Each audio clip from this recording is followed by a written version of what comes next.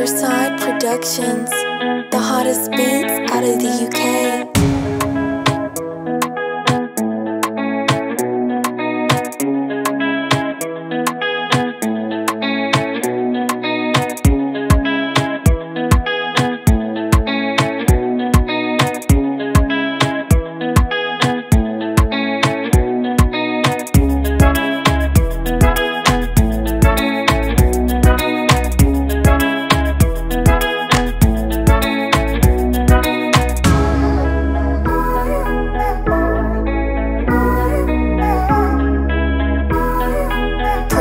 Track today.